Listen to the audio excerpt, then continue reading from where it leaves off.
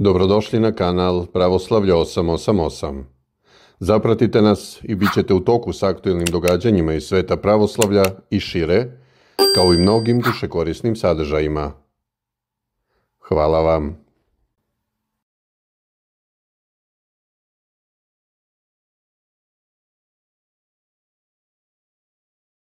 Isto tako danas imaju, mnoge majke imaju brige za svoju djecu. Još mi je bila ovdje jedna, on brine se, ne može da spava dok je djece dođe kući. I, i zivka ga stalno vidi, ne, pa nije to, nije to pravoslavno, pa nije pravoslavni stav takav, ne. Tvoje je, ako, da se, tvoje je, majko, kažem, da, da se osnažiš u veri i da se moliš Bogu u, u večernjim molitvama svoje, svoje dešu pomeni u večernjom vidi i spavaj, budi spokojna. Tako, svoju brigu poveri Bogu živome, dakle, da ih Bog sačuva i da ih dođu kući živi i zdravi. A ne da ti ne spavaš i se tako iscrpljuješ i, da, da ne samo da dušu svoju izgubiš na takav način. Tako si, da se odbio takvog roditelja koji je mnogo brižan. Šta se, šta se postiže, mnogo brižnošću? Ništa, samo štetu imaš. Dakle, naša treba da imamo veru i molitvu. Veru u živoga Boga, njegovu pomoć, jer se pomolimo za svoju decu i to je to. Da im damo blagoslov, pa i, deca treba da posluša roditelje, da kad kažu tad, vrati se pet minuta ranije, e tako je nekad to bilo, ako je pošteno i časno. Ali da neki put uvijek bude, možda bude neke situacija koje malo se malo produže, njihov boravak van kuće i to opet ima sve svoje. Eto, to je ono što treba da znamo. Dakle, od sutra počinje post. Znači, posti se na vodi, znači to su jela koja nisu zapržena, uljem, zejtinom. Koliko ćemo puta jesti, svako ima svoju potrošnju energije, kalorija. Dakle, neko će redi jedan puta dnevno, neko dva puta, neko tri puta, ali ono što je važno, neka to bude, da nam to bude sa uzdržanjem, bez predanja. To je jako važno. Da bude najbolje po onoj pesmi je malo gladni srpeze ustani. Eto, to je najbolje za molitve, to je najbolje stanje, kad čovjek ne ide do sitosti, nego malo gladan, ako je do sitosti, onda gledajte da potrošiš na, neko jako zlenje, na neki fizički rad. Kažem ne, da ne shvatite, da se ne plašite sada ovoga posta Petrovskoga, on je najžešći post, on ne, ne, ne traje sad on dugo, ali bit će žestokih obračuna, zato što najmanji broj naroda posti taj post i onda jedinice njihove se idu na, koncentrišu se na one koji postoje, ali ne da se plašimo. Dakle, svako da ima krst ovdje osvešta na grudima i da se pravimo krsti gospode i sve se sine Boži, pomiru nebešnoga i tako, znači sve u Boga napred. I to je to. To Bog, što Bog blagoslovi i ako se mi potvrdimo, a Bog blagoslovi, to je naša pobjeda sigurna tu. Nema, ne može se to pobjedi. Bog je naš nepobediv. Tamo gdje On ne može da bude, ne, ne može neko drugi da pobjedi. I to tako se tako imamo, da imamo pouzdanje u živoga Boga u svim mogućim prilikama i u višnjim, kažem, i u narodnim nevoljama, da se uznamo Boga, ali da se trudimo na poštovanju zakona Božijega. Otvorite mali kalendar pa pogledajte zapovesti Božije, ovih deset zapovesti pa pogledajmo crkvene zapovesti, to je ispunjavanje. Ako neko od današnjih nazovi učitelja crkve ostupa od tog, pro, od tog propisa, od zakona Božjega, on je onda zabludeo. Ja ne mogu da ga smijenim, ja nemam tu vlast, ali smijenit će ga onaj koga je postavio u svoje vrijeme. Kad mu istekne vrijeme, bit će smijenjen. Znači, ako, ne, ako, ako, nas, ako čitamo u crkvenim zapostima da postoje četiri godišnja posta u kojima treba da se kajemo i da ispojimo sve grehe, kako onda može neko da naloži da se pričešćujete svake nedelje bez posta, odnosno posta samo srednjim petkom. To nije priprema, to je obaveza svih pravoslavnih hrišćana da srednjim petkom Hrista Boga našega, zato što su njega u svijetu izdali u petak razapeli. Zato se srednjim petkom, a ne da, bi se pričestio u nedelju ili subotu.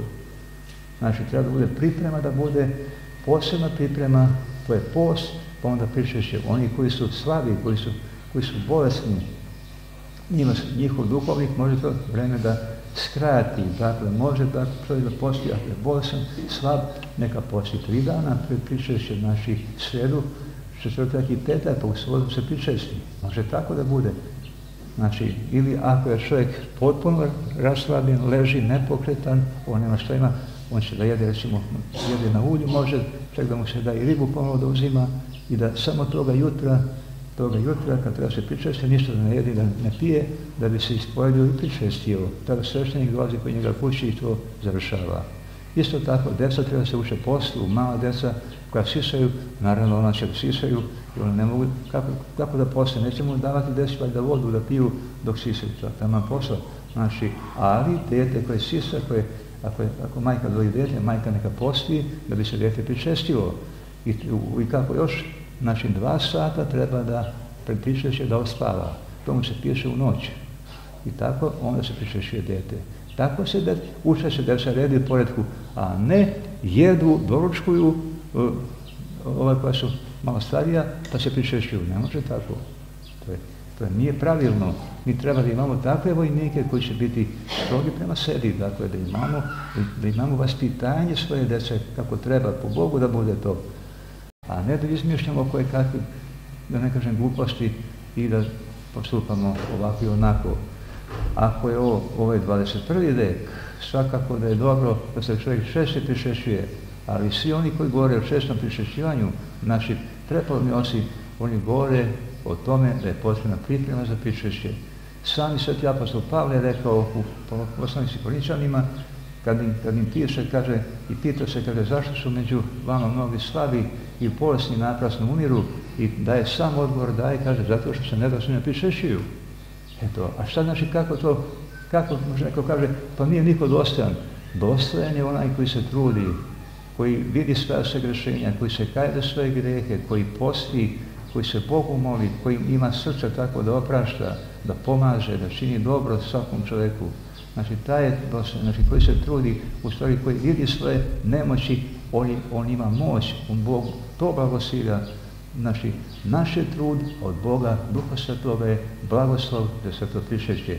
I u takvom se stanju pristupa, dakle, u blagodatnom, blagodatnom stanju se pristupa svetom prišeću, to vam piše i u liturgici za studente oca našega ovoga liturgičara Lazara Mirkovića. Znači sve, sve se zna kako treba, ali treba kako je propisano, dakle tako da se trudimo tako, i to i da sprovodimo, a ne svako da neku svoju priču da ima, neki svoj, svoj zakon koji se ne, nije, koji se ne uklapa u zakon Božiji. Dakle, ne mogu svi ljudi biti spremni za pričajući ako su došli u liturgiju, kako to neshvatljivo, kako može biti.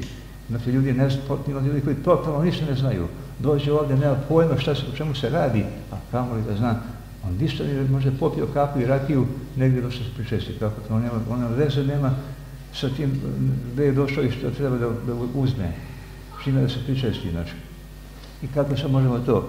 Zato postoji ispovest na jutrenju, znači pre službe ili čak u toku službe, znači da se čovjek ispovedi, da, vidimo ko je on i šta je.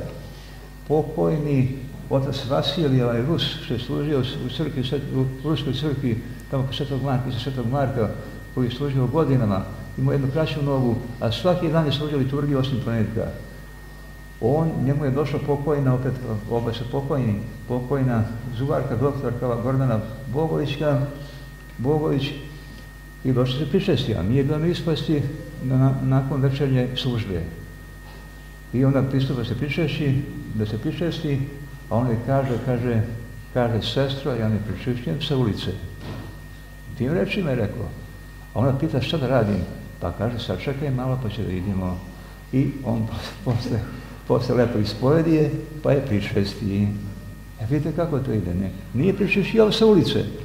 Kako je pričešći sa ulice, ne znaš, ne znaš ni da li je pravoslav, ne znaš ni, ni koliko je grešan, da se kraj, da je postio, da, kako, kako se pripremao. Znači sve ima svoje. Treba se znati kako treba i treba tako da se trudimo.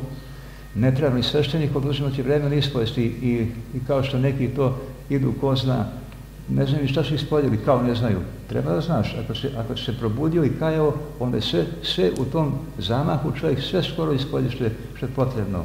Ono što, što smo zaboravili, to se oprašta kroz svetu tajnu i osjećenja, ako je pristupamo na veliki četvrtak, ovdje kod nas u nekoliko da se smirimo, da ne grešimo, da poštujemo, da poštujemo i Boga i da poštujemo jedni drugi, da budemo na službi, jedni drugima.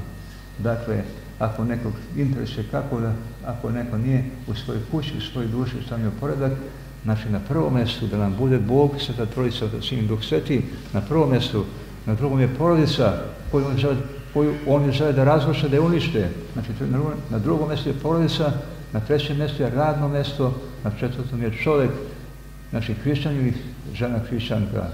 Eto tako, šta je suština? Pa služba Bogu i rodu.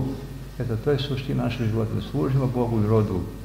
I da ne ropćemo, nego eto tako, da se potrudimo, da nas Bog blagoslovi, da nam Bog blagoslovi početak posta i našeg truda na sačuvanju našeg naroda. Amin Bože,